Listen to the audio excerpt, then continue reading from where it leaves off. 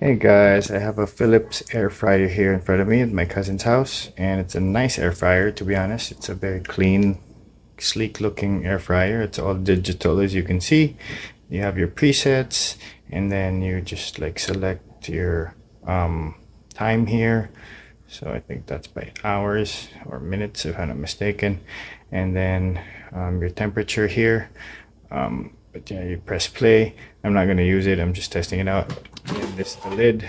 So I forgot the volume how much it can carry but looks like it's around a liter or two liters max. You can cook a whole chicken basically here inside.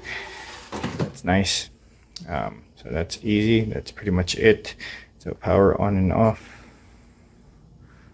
Um, just hold it down the power button to turn it off and push it once to turn it on.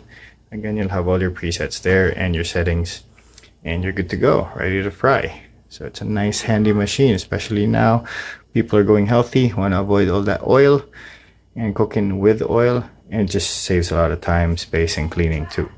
Yeah, it's pretty good from Philips.